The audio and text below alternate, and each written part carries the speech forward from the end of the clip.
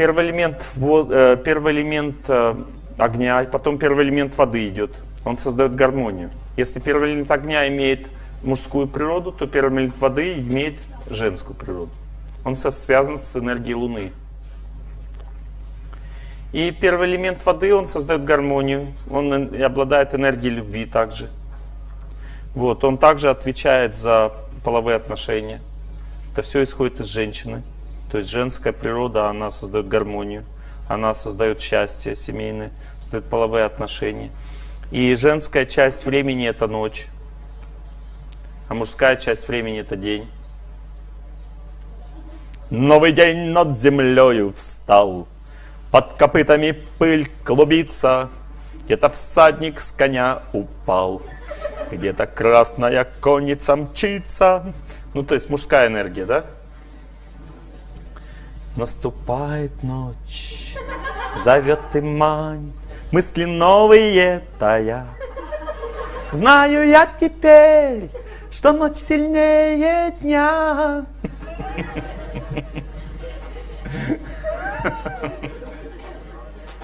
Мужчины главное место в квартире это кабинет, а у женщины кровать.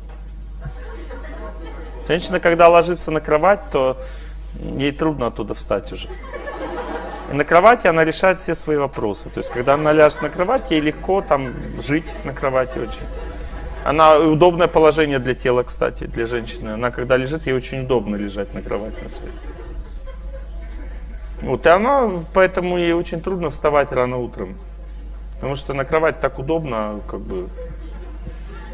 И по факту женщина соткана из лени. Да, энергия красоты женская, она ленивую природу имеет. Природу воды, гармонии. Она такая гармоничная совсем. Вот, она в гармонии находится, поэтому она не напрягается. Поэтому женщина достигает всего очень просто. Ей не нужно напрягаться, чтобы выйти замуж, если она очень сильна в этой женской энергии. Сам человек появляется. Не виноватая, он сам пришел. Вот, то есть человек сам появляется, сам уходит, это его проблемы. Вот, она... А? Она все лежит, да. И она как создает гармонию, как бы, и она рожает детей. Вот. Причем она тоже не напрягается для этого, они сами рожаются из нее. Вот, поэтому женщина, она все делает без напряжения. Женщина не должна по факту сильно много работать. Если она по-женски сильна, то муж будет работать у нее. Будет давать делать ее счастливой. Если она культивирует себе мужскую энергию, то она сама будет работать. И будет плакать горючими слезами. От этого. Но вот женскую энергию надо понять в себе, женскую энергию, что я женщина. У меня самое главное это энергия любви в нашей жизни. И в женском теле течет энергия любви. Она всем нужна, эта энергия. И женщина поэтому не должна напрягаться. Но она должна напрягаться для энергии любви. Она должна служить, заботиться обо всем. По-женски жить должна.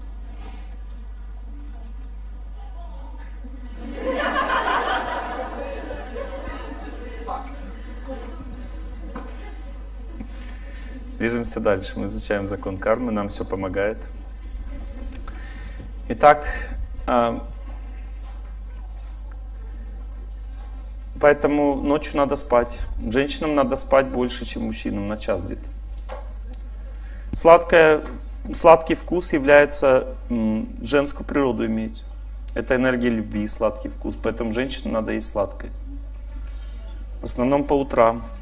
Потому что вечером сладкая пища идет болезни, а утром она идет здоровье. Утреннее время, поэтому обед был сладким у вас, да? Чуть-чуть, нет? Завтрак, завтрак сладким был? Да.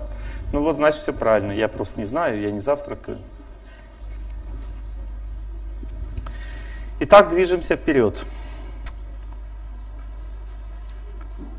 Пирамент огня, то есть все виды гармонии, все, что соединяется в этом мире, все с помощью энергии а, воды, воды в смысле.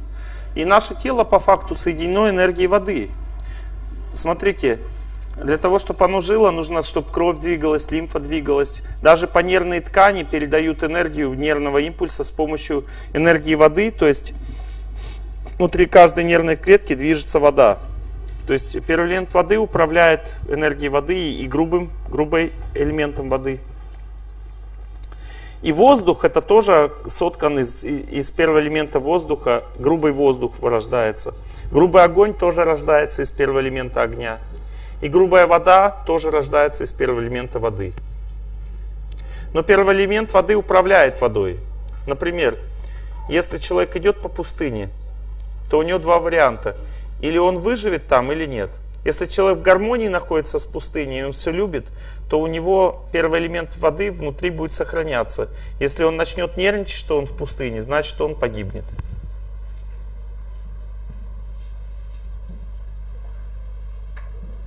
Помните белое солнце пустыни? Там идет этот э,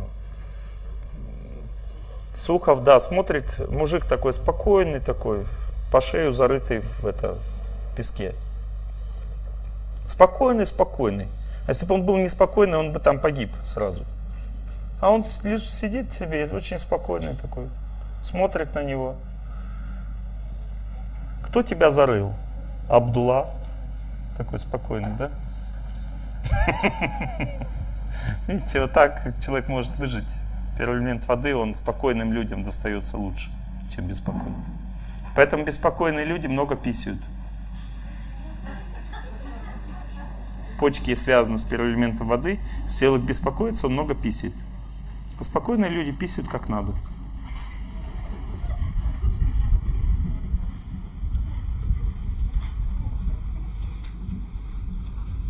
Я иногда буду шутить, а то вам скучно будет, наверное. Итак, осталось только первый элемент Земли. Первый элемент Земли создает формы в этом мире. Он все структурирует, делает формы. И грубое материальное тело, оно соткано из первого элемента воды и земли в основном. Но в нем всего 20% первого элемента земли и 80% первого элемента воды. И поэтому оно активно, наше тело активно, оно функционально. Но в адских планетах, на низших планетах, там увеличивается количество первого элемента земли и первого элемента воды становится меньше. И поэтому там тела уже не, функциональны, в грубом теле там жить не могут. Живые существа, они живут тонко, только в тонких телах. Потому что если бы они жили в грубом теле, они были бы в теле камня. Это в камне 20% воды и 80% земли, первый элемент. Там уже ничего не сделаешь, в теле камня уже невозможно двигаться. Так? Все закаменелое. Поэтому там в тонких телах живут на низших планетах. На высших планетах живые существа тоже живут в тонких телах. Почему? Потому что там очень много первого элемента воздуха. Так как много первого элемента воздуха, поэтому грубой энергии мало. Первого элемента Земли мало, поэтому тела у них светящиеся и такие прозрачные высших живых существ. А есть еще слои на высших планетах, где живут огненные живые существа. Например, описано, что на Солнце тоже есть жизнь, там в огненных телах живут живые существа. И это более высокая форма жизни, чем наша.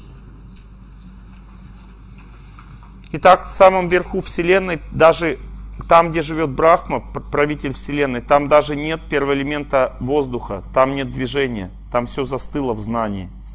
Там есть только первый элемент эфира. Потом ниже очень много увеличивается плотность первого элемента воздуха, но других первых элементов нет. И там живут такие живые существа, которые называются ситхи. И галактика, на которой они живут, называется Ситхалока. То есть эти живые существа такой силой обладают, то есть первый элемент воздуха дают силу, что они способны попадать на любые точки Вселенной очень быстро. Они могут менять тела, могут форму тела менять свою. Они огром, огромной силой обладают. И они способны многие вещи делать, которые мы даже не понимаем. Становиться маленькими или огромными в секунду. Ну, то есть, вот так вот. Ниже этого находится пространство, где живые существа живут в огненных телах. А энергия огня это изменяющая энергия. Поэтому все менеджеры нашей Вселенной, полубоги, у них огненные тела. То есть они управляют этой Вселенной. И во Вселенной существует 33 миллиона полубогов всего. Это столько, сколько жителей Москвы примерно. Всей Вселенной управляют 33 миллиона э, полубогов. И они управляют всеми движениями в нашем организме полностью. с помощью своей силы. Это могущественные живые существа. Но мы их не можем видеть, потому что мы недостойны. У них настолько возвышенное тело, то есть они такие возвышенные личности, все они служат Богу, и все они святые. Что как только мы их увидим, мы тоже тут же очищаем свое существование. Их еще называют ангелами там, или архангелами. То есть высшие живые существа. Дальше следующий слой. Уже больше первого элемента воды, и там это пространство уже предназначено для наслаждения. Это курорты нашей Вселенной. Они все имеют лунную энергию. И там туда попадают живые существа, которые э, очень честно жили, но они хотят быть счастливыми просто. Они честно, правильно жили, но у них одна цель, не служить Богу, а наслаждаться в этом мире. Они хотят просто счастья и все. И они попадают на высшие планеты. Рай по лунному типу, в котором находится курорт. И они там балдеют, там описано, что жидкость, океан, море там, а, он, помните, а, молочные реки и кисельные берега, да? Это все из ведических писаний. Там море, оно состоит из жидкости такой необычной.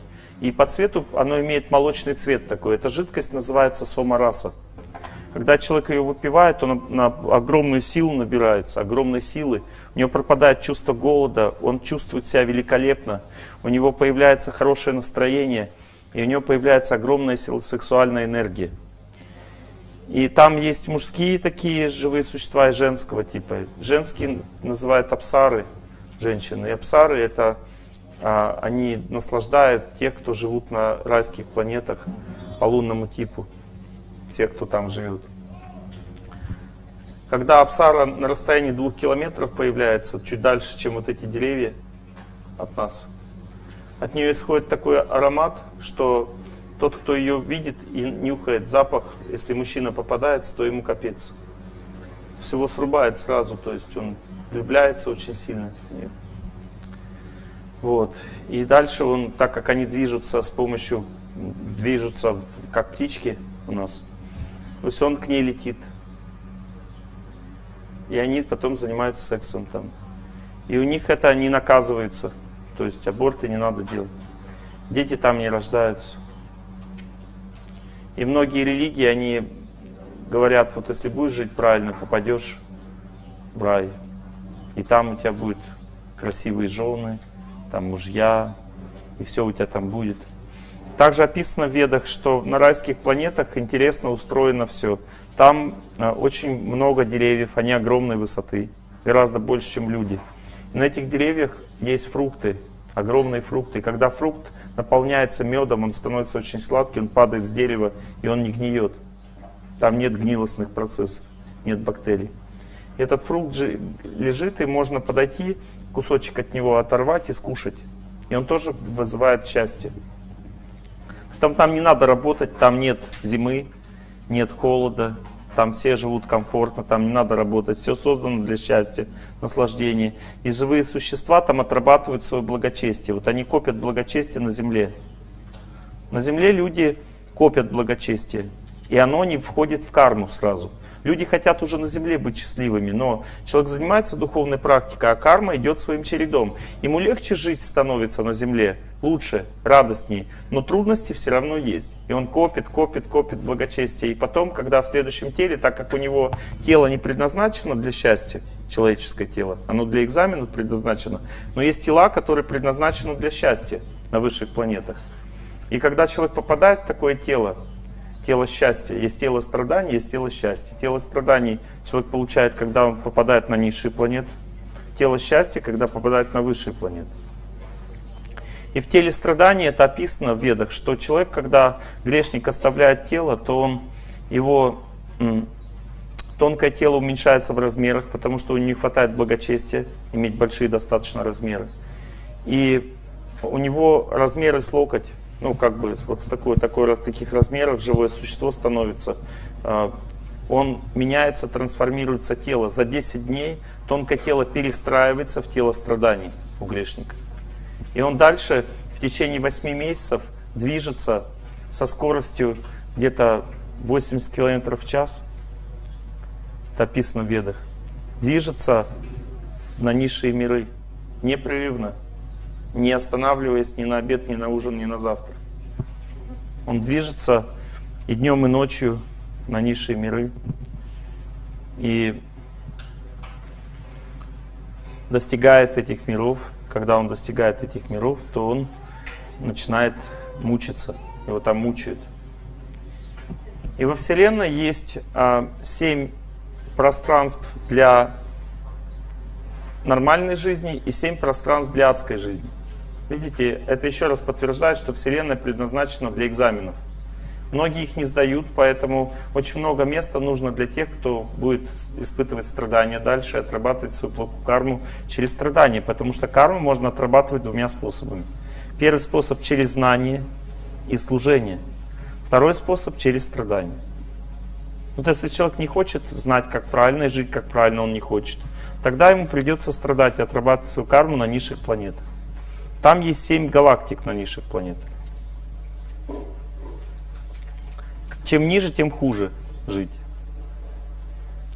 И там время движется по-другому. Так, а, если говорить о низших планетах среднего типа, то а, один месяц у нас, там год. Но на сам, в самом низу у нас секунда проходит, там проходит год. Время движется по-разному в нашей Вселенной. Так, допустим, то же самое происходит у нас на Брахмалоке, высшей планеты Вселенной, проходит секунда, а у нас проходит год.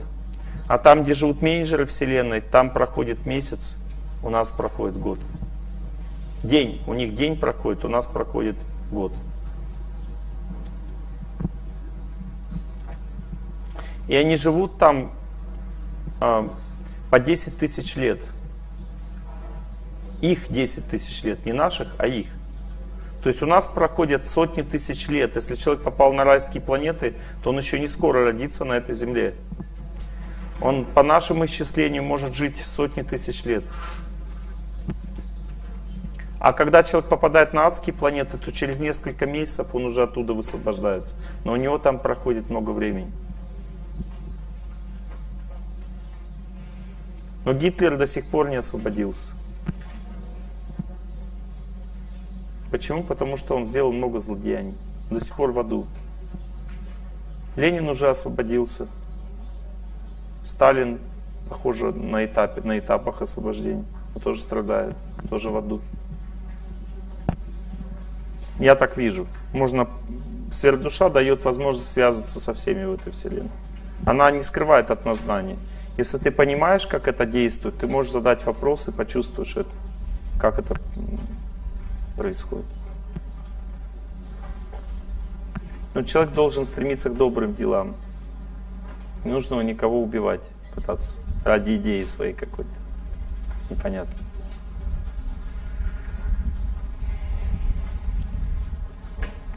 Итак, существует э,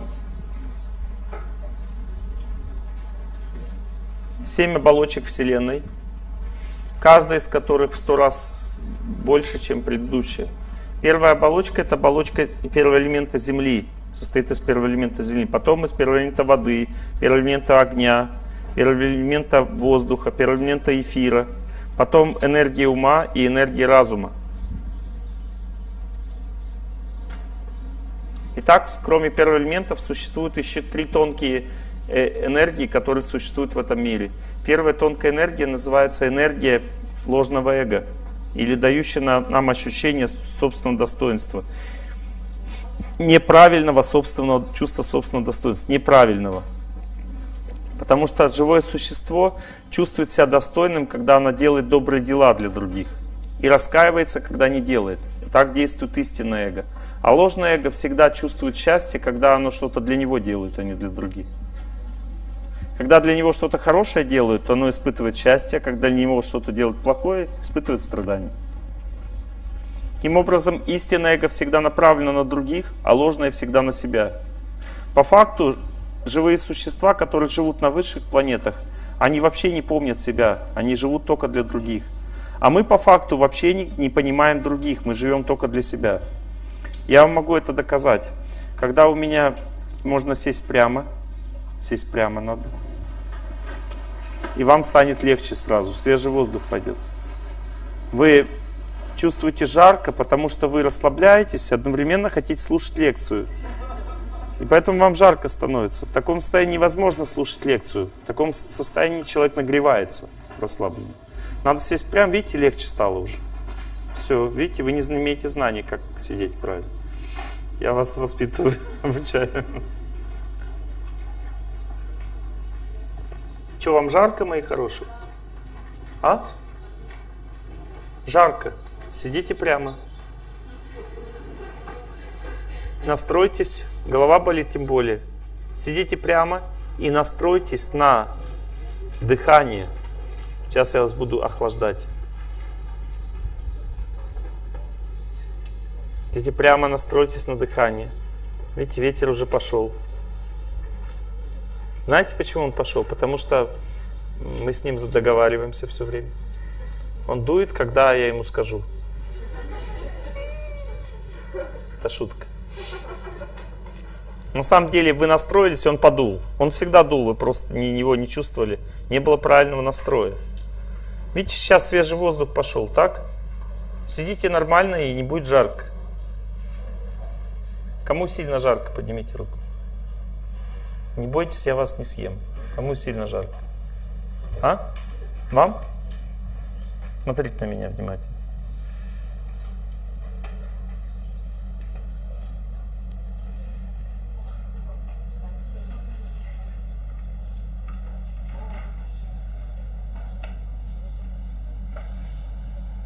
Нормально стало? Посвежел?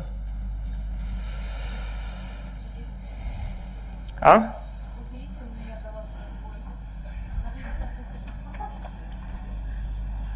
Смотрите на меня. Головная боль пошла вон.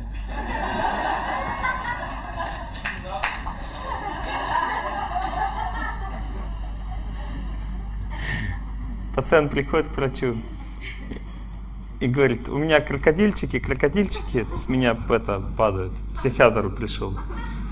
И он смотрит, а что вы на меня-то их бросаете?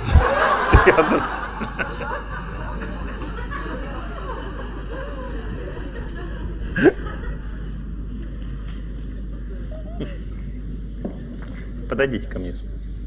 Конечно. Да, прямо сюда.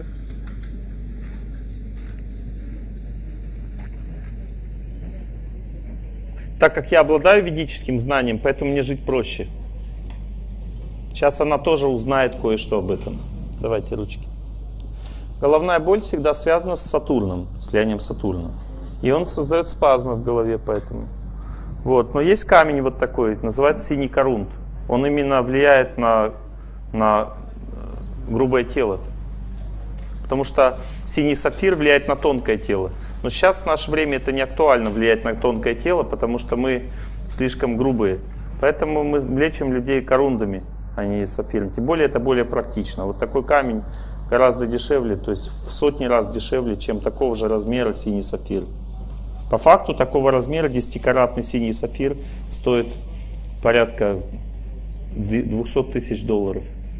А этот камень стоит всего тысячу долларов, чуть больше. И этот камень, что он делает? Он соединяет нас с чистой энергией Сатурна. То есть я нажимаю на нее, даже он в пластике находится, все равно начинает влиять. То есть я нажимаю на этот камень и настраиваюсь на энергию Сатурна чистую. И камень уже имеет такую силу. Вот. И в результате что происходит? Спазмы начинают проходить, то есть начинает Сатурн неплохо влиять на голову, а хорошо. В результате спазмы начинают проходить в голове, и человек начинает контактировать с более чистой энергией Сатурна в результате вот этого нажатия камня. Я правильно говорю или нет? Проходит голова? Но сейчас, когда я с, нее сниму, не опять начнется. Поэтому это была рекламная кампания нашего медицинского центра, потому что некоторые говорят, что камни не действуют, что мы шарлатаны. я вам сейчас доказал, что мы не шарлатаны, камни действуют. И мы сейчас пишем несколько кандидатских диссертаций на эту тему. Два человека у нас будут защищать диссертации. Один будет по влиянию белых кораллов на бронхиальную астму, То есть ставится белый коральчик на указательный палец, бронхиальная астма может пройти или стать намного лучше человеку. Ну, то есть мы будем сейчас это доказывать научно, набирать астматиков и лечить их. И вторая работа с гранатами. Гранаты будут лечить вегетососудистую дистонию. Тоже человек одевает такой же вот большой гранат на тело, и у него давление нормализуется в голове, в организме. Вот. А также мы вот э, можем лечить мигрени вот таким образом, поставив синий корунт на средний палец. Как голова? Получше стало? Ну, посидите с колечком, не теряйте. Потом мне отдадите. Все кольца сейчас меня поснимаю. Я тогда, как я буду быть счастлив? Ладно, поехали дальше. Итак,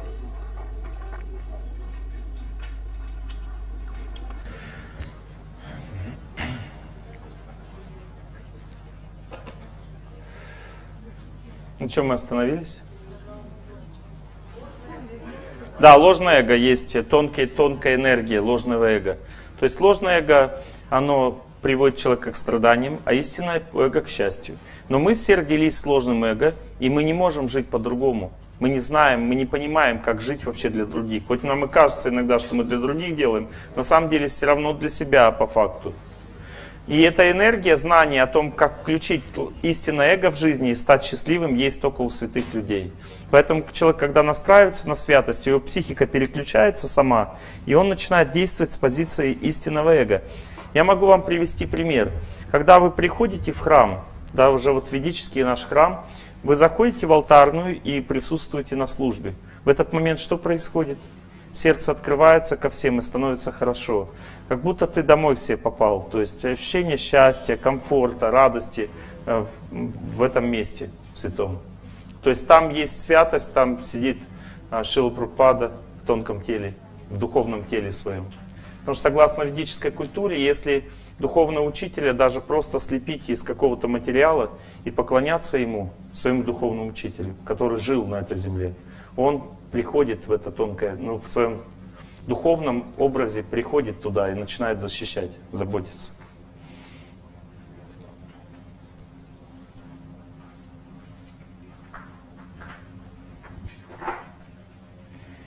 Таким образом, а, там, где есть духовная среда, духовная энергия, люди чувствуют себя очень хорошо. Поэтому нужно способствовать а, строительству храмов, вкладывать в это деньги, чтобы люди всегда имели место, где переключиться с сложного эго на истинное. Потому что только в состоянии истинного эго человек может быть воистину по-настоящему счастлив. В противном случае он всегда несчастен, потому что ему всегда что-то не додают. Вот вы, допустим, если будете в состоянии эгоизма находиться на этом фестивале, все равно будет что-то не то. Или слишком жарко, или слишком холодно, или слишком много еды, или слишком мало – или слишком мало вам внимания уделяют, или кто-то вас достал. Ну, то есть все равно будут вот проблемы какие-то, понимаете? Человек в состоянии ложного эгоизма не может быть счастлив.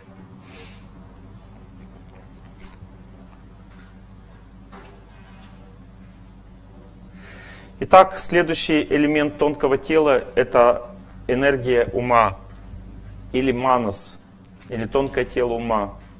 Она дает нам возможность функционировать то есть тон, тонкое тело ума, в котором мы находимся, является силой, дающей людям возможность функционировать психически в этом мире. То есть э, тонкое тело ума на срезе имеет следующее строение человека, ну и всех живых существ. Верхняя часть строения связана с как озеро. Да? Верхняя часть это волны. Волны бывают четырех типов. Это наши мысли, которые находятся с левой стороны у человека, имеют женскую природу мысли. Дальше воля человека, э, желание имеет мужскую природу, находится с правой стороны. Дальше э, эмоции, которые предстоят мыслям. То есть мысли возникают из эмоций. Поэтому свое мышление это эмоциональный процесс. Мышление всегда эмоциональный процесс. А желание воля человека, она предстоит желанием. То есть желание это не эмоциональный процесс. Это волевой процесс. Есть эмоции, есть желание. Что такое эмоции, допустим? Эмоции. Я так хочу, чтобы лето не кончалось, чтобы оно повсюду мчалось за мною вслед. Я так хочу,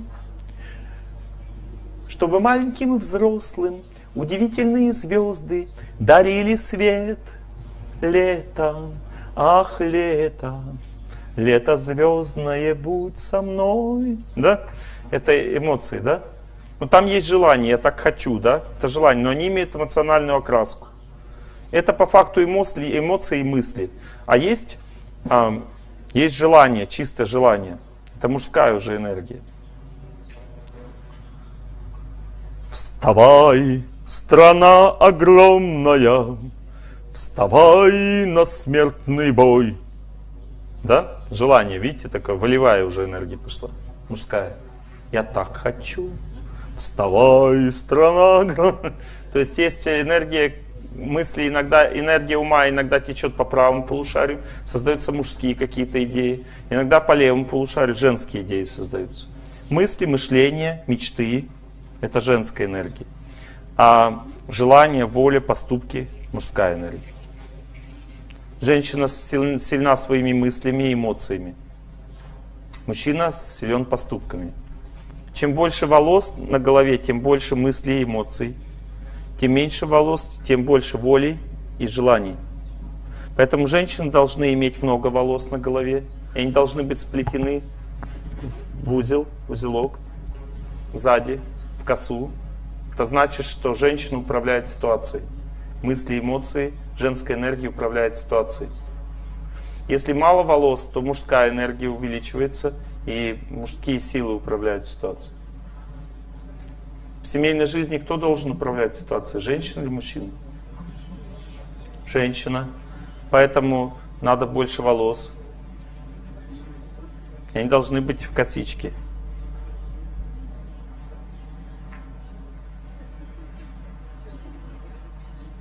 Женщина краса, длинная коса, да? Видите, вот она сейчас сплетет волосы. Идите сюда, выходите. Погодите, давайте эксперимент. Выходите. Выходите, выходите, давайте. Мы вас поддержим. Сейчас, чтобы женщины что-то увидели.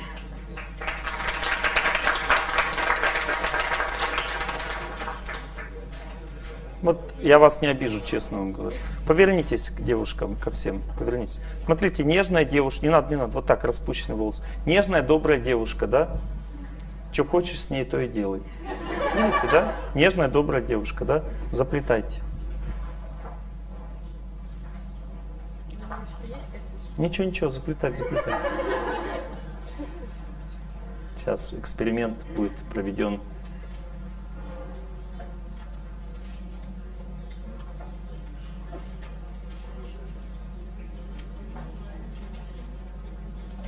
Все достаточно так с руками останьтесь, вот так. Ага. И все, они не распустятся у вас сейчас.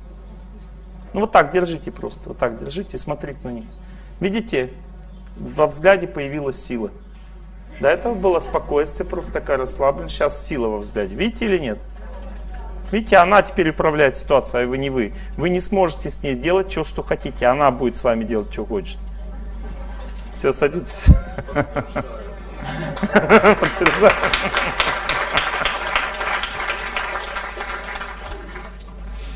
Понятна система, как работает, нет? На практике все видно. Вы же видели то, что происходит? Взгляд поменялся. Так, ведическая культура – это серьезная вещь. Так, например, смотрите, у мужчины есть дырка вот здесь. Дырка психическая вот здесь. Поэтому женщина, когда смотрит на мужчину, она срубает его взглядом. Вот здесь сердце у нее появляется вот эта сила женской энергии. И когда женщина, допустим, живет рядом, она может эмоциями тоже управлять мужчиной. А когда начинает эмоционально говорить, мужчина не может это выдержать. Говорит, ладно, ладно, все, будет как ты хочешь. Она просто эмоционально говорит и очень сильно влияет на сердце. Мужчине больно становится от этого. А у женщины дырка вот здесь. Когда мужчина начинает демагогию разводить, женщине очень трудно, она такая напрягается, не может. И у женщин есть способ, как э, защищаться от ненужных энергий мужских. А женщина вот сюда ставит точку красную. И вместо того, чтобы взгляд идти внутрь в женщину, взгляд сосредотачивается на этой точке. Так, раз, чук, и на точке, все. В результате она защищена. Да?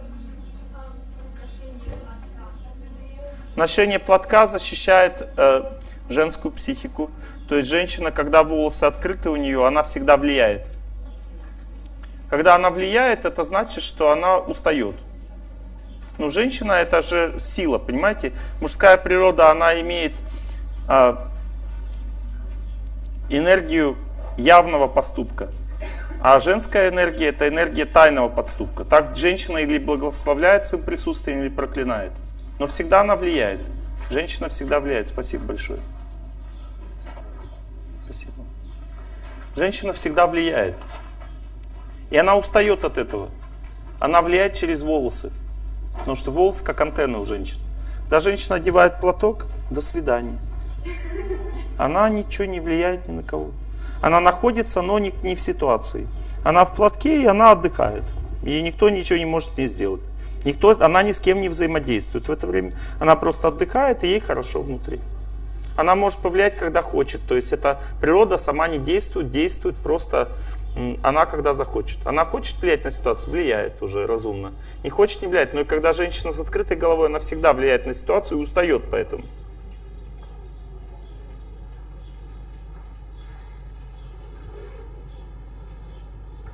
Сейчас мы проведем эксперимент. Дайте ей свой платочек на голову. Да, да. Так как у нас практическое здесь заметно. Практически мы. Вот смотрите, сейчас я вам буду учить вас жить правильно. Нет, нет, а, вот так одевать, прям накрывать, да, вот так, все, вот, отлично. Отличненько. Голове легче стало? Сразу? Все, порядок в танковых частях, видите, вылечил. Отдавайте кольцо. А я? Получше стало вам, да?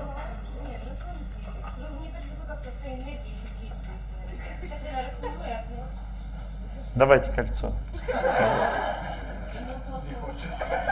Не, платок, платок надо оставить. Уже болит? Дайте ей платок. У кого платок есть, у кого голова не болит. Дайте женщине платок. А у нее самой есть, оказывается. Ну дайте ей платок сейчас. А кольцо мне, потому что мне надо этой энергии Сатурна на всех влиять. Потому что народ начал расслабляться. Мне нужно, чтобы они немножко... Смотрите, сейчас я вам покажу фокус-покус. Смотрите на меня внимательно. Сосредоточьтесь на том, как вам легко, тяжело сидеть в зале.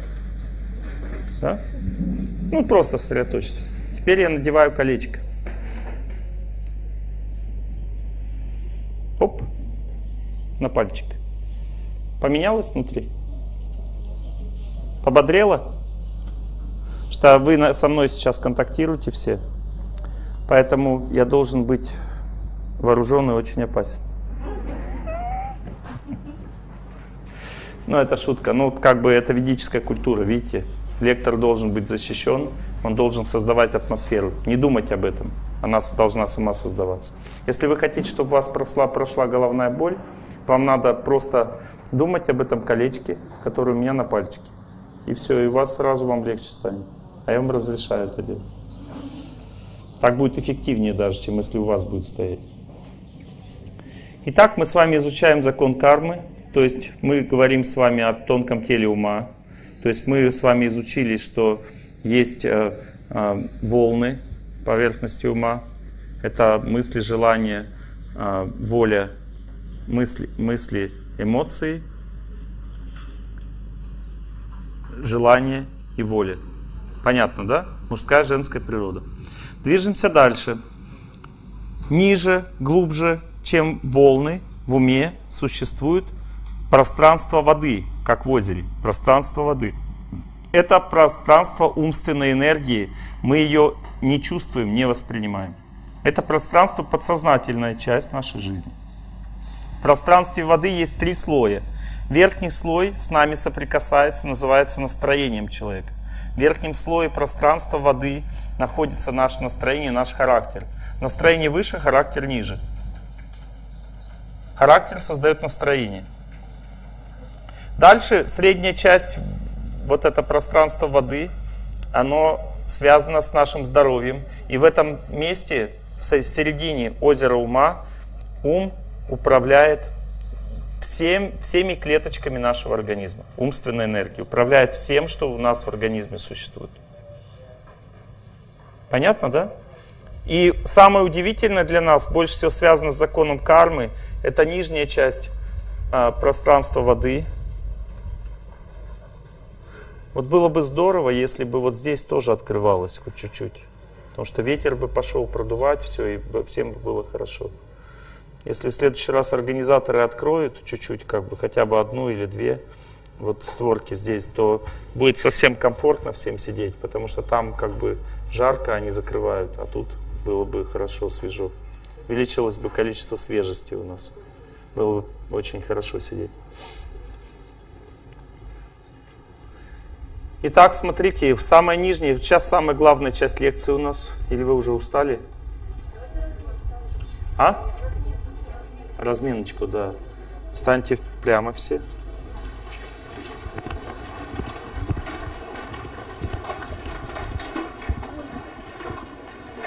Так, встали прямо, ручки вверх. Подняли вверх. Раз, два, три, четыре. Раз, два, три, четыре. Поехали. Раз, два, три, четыре. Все молодые старички разминают свои ручки. Теперь вверх-вниз. Вот так вот. Ручки вверх, да, подняты. Вверх-вниз. Вот так поднимаем. Раз, два, три, четыре. Раз, два, три, четыре. Вот, хорошо. Ручки вверх. Теперь встали раз и застыли вверху вот так вот. Стоим, стоим. Чувствуете, в голову пошло? Стоим, стоим, так. Хорошо. А теперь потянулись вверх, вот так вот. Надо до потолка достать руками.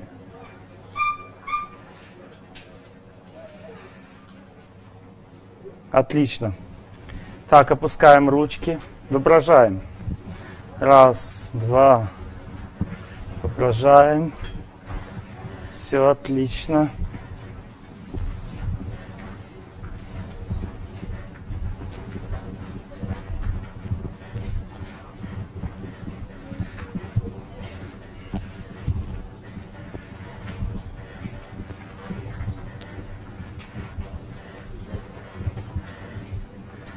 Так, теперь крутим головой вправо-влево, вправо-влево.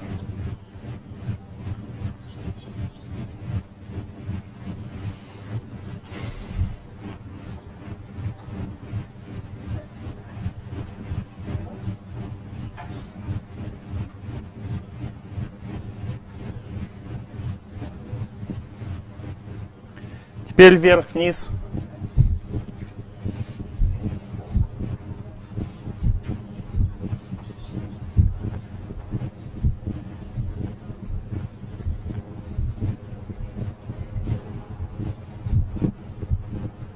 Достаточно. Плечиками танцуем. Раз, два, раз, два. Вперед, назад танцуем плечиками. Танцуют все.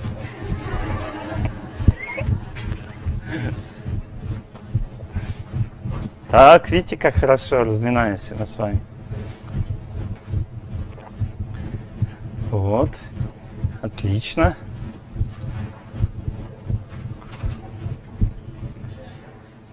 Все, ничего, ничего, все нормально. Теперь следующее упражнение, приседание. Давай, давайте. Раз, два, три, четыре.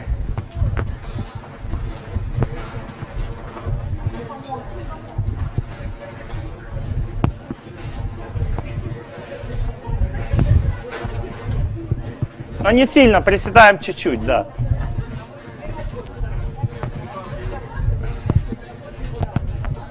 Достаточно. Теперь я вас научу кое-чему. Садитесь.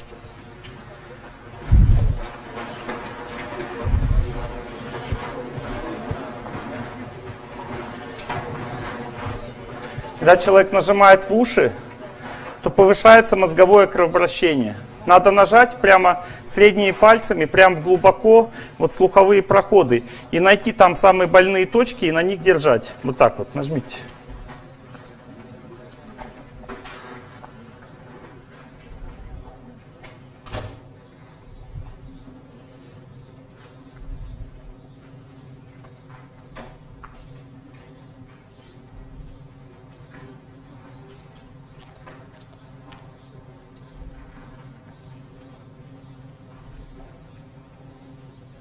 Достаточно. Теперь вот когда мы сюда нажимаем средним пальцем под нос прямо, то сильно увеличивается концентрация внимания. Так, нажали под нос прямо, больную точку и держим. Сейчас картинка встанет.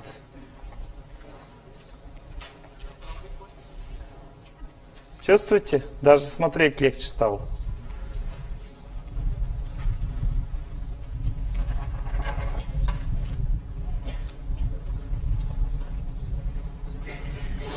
Эта точка также способствует, чтобы простуды не было. И теперь вот внутренние кра кра края, там, где вот пипочки на глазах, на них давим, на пипочки.